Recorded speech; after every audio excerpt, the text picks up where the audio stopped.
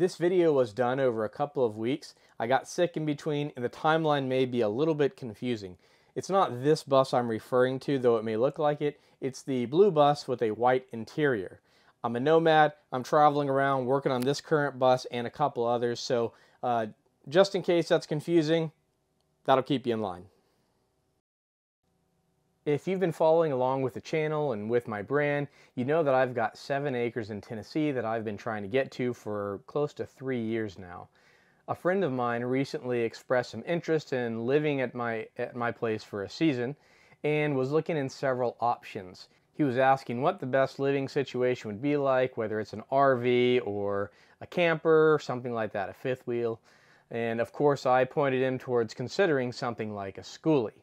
I explained to my friend that I feel like a bus would be a much better option, especially if we found a good deal on something that's more appropriate for parking than it is for driving around. So the following story kind of covers that uh, this whole venture of how that went down.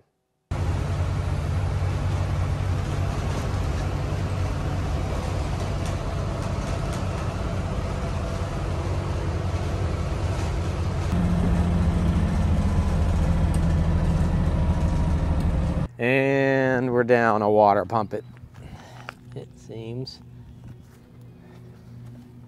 So we're gonna dive into this here soon. It's way up there. We are currently parked at a park. Gonna take a nap and hit it real hard tonight. Try to get through Chicago. This bus is a 2000 Bluebird. I believe the designation is like CE 2000 or something like that. But it's a front engine, Cummins 5.9 24 valve. That's a very solid, reliable, known engine. The transmission is an Allison 3060. Currently has just the five gears, but if you program it, uh, get it programmed by someone, you can get that six gear unlocked in. You'll be rocking at better RPMs when you're cruising on the interstate. This bus has a roof raise. They did it below the windows. That's pretty solid. Certainly added value there. Now they use self-tappers or these types of screws like roofing screws, which isn't preferred over rivets, but it'll do. Paint job, not so awesome. You look close, you can see some, some apparent issues with it. Roof rack, that's Unistrut. That's my least favorite way of doing mounting solar and doing a roof rack in general. So this is the first walkthrough. I'm gonna be very simple at this and then go back and show you a little bit more of the close-ups. So we were told from the seller at the door jamb, it's all uh, rotted basically.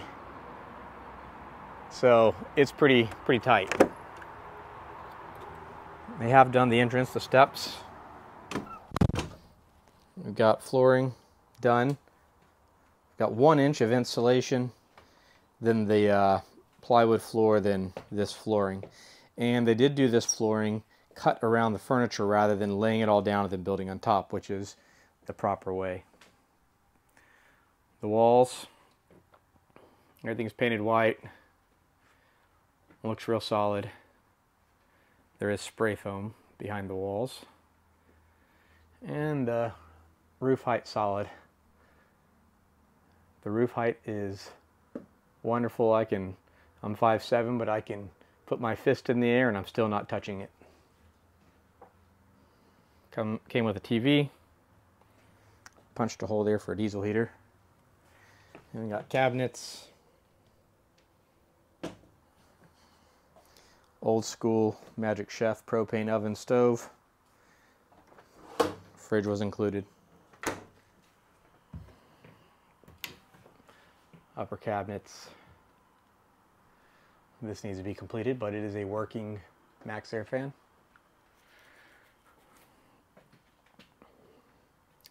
Apparently they had some electrical issues, so they had to go cut some of this out, which allowed me to see a little bit of how they did the insulation. Right now I've got some things plugged in down here, but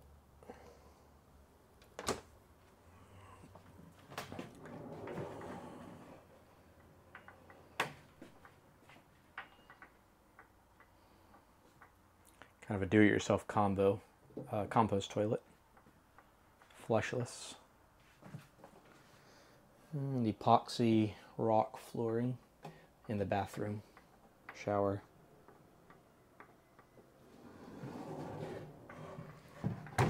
Think this was designed for kids. Got a couple bunks with some sliding closers. This space also had the sliding closers, but I removed those. They were just making a lot of noise and causing a lot of trouble, and I didn't really understand why they were here.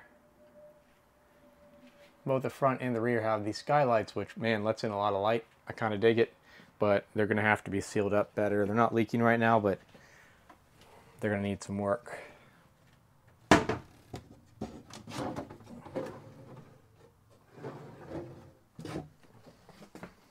Did come with a solar system. It also needs some work.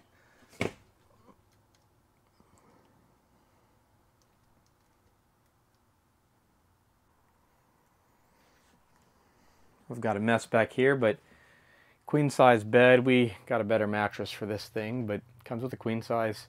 Came with a queen size mattress, but we just got a, a nice one instead. We've got a partition here on the slider. And the mini split did come with a 12K mini split, not fully installed. Seems like it was an afterthought, so it's a bit of a mess for how that's going in. So that's going to be something I've got to resolve later. Receptacles near the bed. We've got a light back here, but I see no place where that's uh, got power, so we got to tie that in with a switch. Water tanks down here, 100 gallons. I believe it's a 100 gallon underneath as well. This space is window deleted, drawer, cabinet, clothes hanger. This bus was found on Facebook and I reached out to the owner, had a lot of conversations over, over Messenger, and then eventually he got us on the telephone, so we had an actual conversation. He kind of insisted that we talk on the phone. So I th thought that was really great. He sent me an entire list of what was wrong, what needed work, what was incomplete. So I think that's a really good sign when you're purchasing a bus. Ask all the questions, ask the difficult questions, get as many pictures as you possibly can. That allows you to make the best assessment of a bus. Now this bus looks great.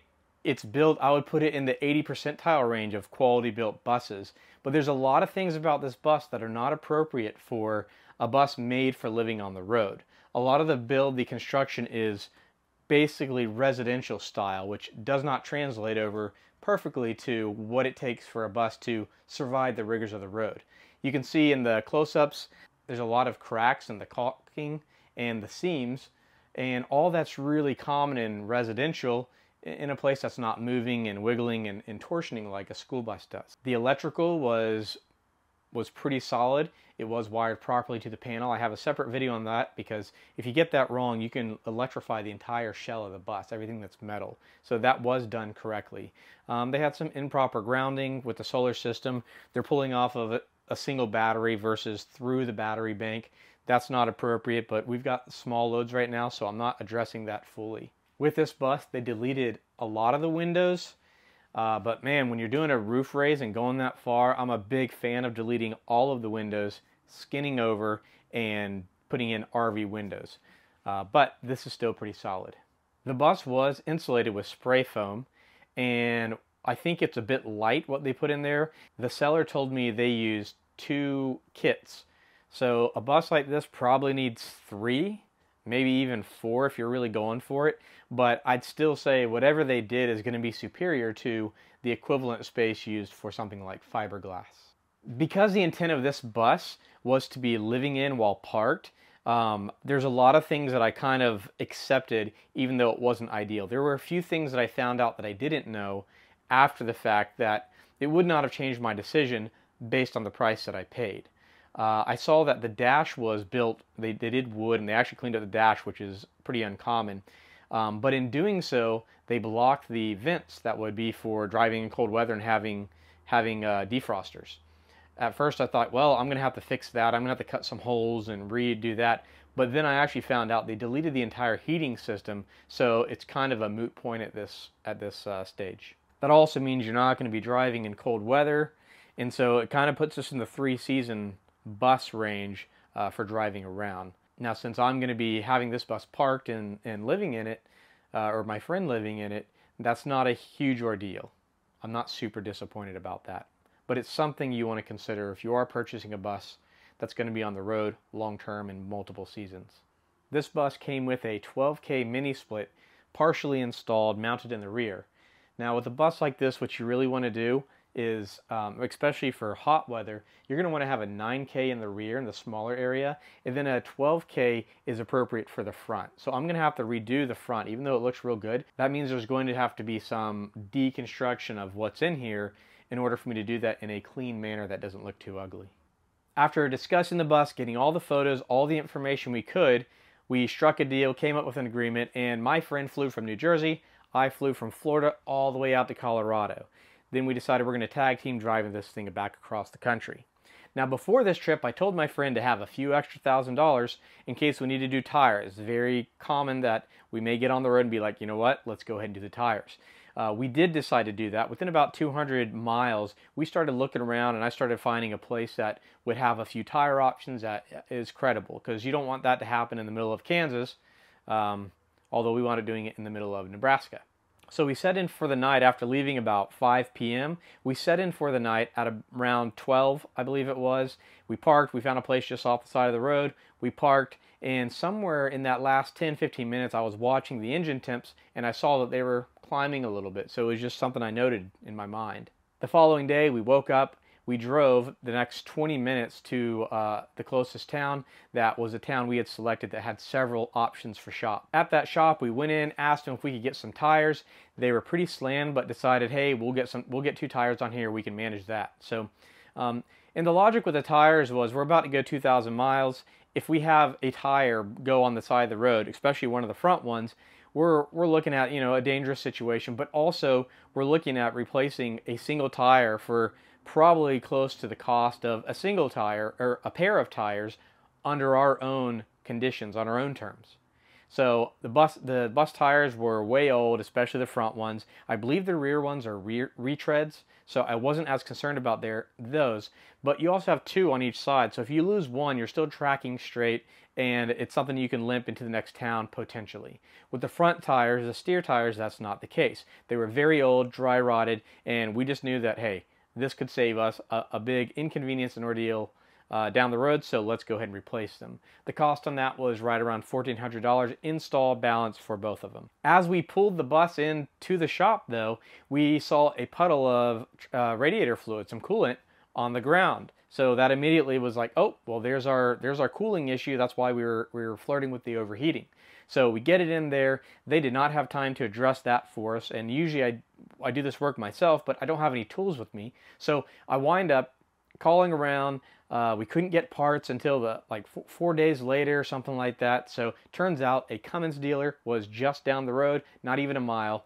The tire shop we were at let us use their shop truck drove down the road to Cummins, got the part we needed, and then they connected us with a friend down the road who who has a shop that they are opening up to the public. It's like a fleet management shop, but they're now open to the public. And they got us in, and actually for a killer deal, we got that water pump, taken care of, swapped out. We got the uh, bus service with all the grease fittings underneath, and we had them adjust the brake, uh, the slack adjusters on the brakes, which is something I, I have yet to do myself. So all that to say, we got these essentials done and it was under $2,000 additional on top of the, the, the bus cost. So that was kind of built into negotiations, that was built into the trip. So you uh, just have to be prepared for that. Spending your last dime on the bus and hoping you're going to make it across the country is a fool's errand. I do not recommend that. Sometimes it's pretty evident when this is a person's first bus and while they did a solid job with most of this, there's a lot of things that don't make a lot of sense to me. I'm not a fan of the straight galley. Um, while that's a preference, it's something that's nice to break up if you can. It makes a place more homey, and oftentimes is a more uh, is a better use of space. So we've got a counter, and it's on top of the front wheel well. we've got a couch over here, but the couch is very shallow. So sitting in it's not comfortable and it, it's just, it's actually awkward, not all that usable. What I probably would have done and may do in the future, not immediately, is make this more like an L coming this way and then have this couch on this side also make an L. So a lot more usable seating than like a TV up there in the corner or something could be done or on that wall. Um, it did come with this small guy right here, but so that's a possibility. And somehow to make this more usable, that may be appropriate. And all those things, some of that is kind of built into, say, running a mini split there. If I have to deconstruct this wall to run the pipes, run the uh, copper lines, I may just go ahead and pull this out, cut my line, and then maybe do some accent wood up there to, to kind of clean up what the mess I made and to break up the space a little bit. It's a bit sterile in my opinion. We've also got all this space right here that's just not really usable. I don't know what the intent was, but without seating, without a kitchen table or something, um, I'm not really sure about that. This back area with the two windows and the center door, very common for it to be unfinished because it's hard to figure out what exactly to do with that. My preference is just to delete it all, all the windows, and then insulate over them. That's just simple. Uh, you do a roof raise, do all that, then put in an RV window facing the rear, much simpler, and everything kind of gets completed. Because right now, this room, it's all insulated, right? Except for that entire back down to the floor. After casually looking for a couple of months, I actually found an ad myself on one of the Facebook groups. I reached out to the owner and we started negotiations and conversations. I got a ton of photos from him of the bus and of the build as it was being built. That's super helpful. Now I realize there are a lot of videos out there that discuss how to select the right bus. Um, in fact, Chuck Cassidy has a great one. I recommend you taking a look at that. I'll put that in the link below. Now that covers all your basics, picking a bus that doesn't have a lot of rust, a bus that has some decent maintenance record if possible, and a bus with the proper engine, transmission, and something that, that's the right length and tires, and he covers all those basics. So um, all those things are something that we did. So we made sure that the bus was in fact rust free. We made sure that it had a good engine and transmission and didn't have crazy high mileage. In this case, it had 165,000 miles. Now after all of that, which applies to a new bus or a already built bus, now you have to determine if this built bus meets the requirements and standards that you are expecting and hoping for in a build. This is not the case for most skoolies. In fact, most people are bailing out of their skoolies that they began building because they either built it poorly or they got overwhelmed with a project and just bailed out. And oftentimes it's just left in a mess. Now, that said, there are cases where a bus was built well or well enough that you can perhaps snag one of these buses up for a really good price and complete it yourself. This story is something like that. I'm not sure the exact circumstances around the, those who built the bus, but they did a good job at so many things, and all the things that they did poorly are things that I can sort out myself. And one of the big things with a with a bus to start with is insulation, right? If you have this fully built out bus, not this one, but the, the one in the video coming, and it was not insulated, especially the, the ceiling, then you're basically stripping the entire bus down, destroying the build in order to replace that, uh, the insulation. So skipping insulation is a no-go for me. I don't want any bus that's lacking insulation. And most people, when they sell their first perfect bus, it's a bus that did not get insulated from the start. And you'll notice that even though their first bus is perfect, when they go to build their second bus, they're going to do it very different. And they're going to do all the things they did not do in their first bus. So beyond that, you've got plumbing. Plumbing is a big deal, and there's a way to do it well, and there's a way to do it improperly. This bus was not done very well. I can just tell by looking at it that it is not going to flow properly, and so a lot of that's going to have to be addressed. However, it does already come with two 100 gallon tanks, which is some value. The water heater on this bus was placed in a spot that I very much dislike, and it was done poorly. They just kind of slapped it in there. It seems like they got towards the end of this project and started slapping things in, and that probably led to part of the part of the equation of them bailing out of this bus. Another common mistake, they did some grinding up front and the glass, the front glass is all melted. So if you take a, grinding, a grinder, the grinding wheel, and you know all those sparks you see coming off there, if that contacts any of the glass, it's going to melt the glass. And what that does, that leaves the surface of it um, with a bunch of flakes on it basically, and you can feel it with your fingernails and slide on it, and it'll cause refraction issues when you're driving. It's not so great. So I'm gonna have to replace both of those front windshields if I'm really gonna be driving this thing around.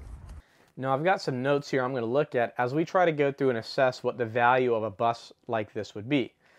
This bus would be very different if the bus was turnkey, ready to go and hit the road, but it's not, right? So a lot of things are incomplete, a lot of things need to be redone, even though the core and the shell, all that's pretty solid. So right off the bat, a bus like this, now that I know uh, that it is in fact reliable, the engine's running well, the transmission, everything's operating, I'm going to put that at like 4 or 5K. We'll just say 5K. So that value, 5K for a bus. You probably aren't going to find too many buses below 5K that are really rust free, solid, reliable, good brakes, all that. So we'll call it 5K. The solar parts on this bus that came with it, uh, I'm very familiar with all that. It's Victron, it's Battle Born. We're going to put that at 6K value. The roof raise, uh, it's not as crazy as some of the other ones, but it is a solid, well done roof raise.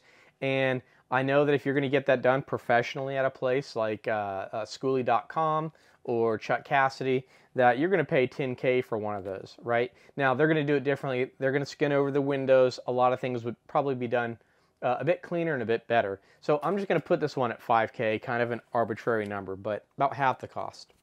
Next up is a spray foam. Those two kits, I think they're going to be like seven or eight hundred dollars for for a kit. And you've also got the insulation on the floor, all that. So let's just call that 2K. Maybe that's a little generous, but we'll call it 2K for now. Then you've got the 12K mini split. It's partially installed. We'll just act like it's just a mini split. And I don't know if that was an $800 model or a $1,200 model, but I'm going to put that at 1K for even numbers.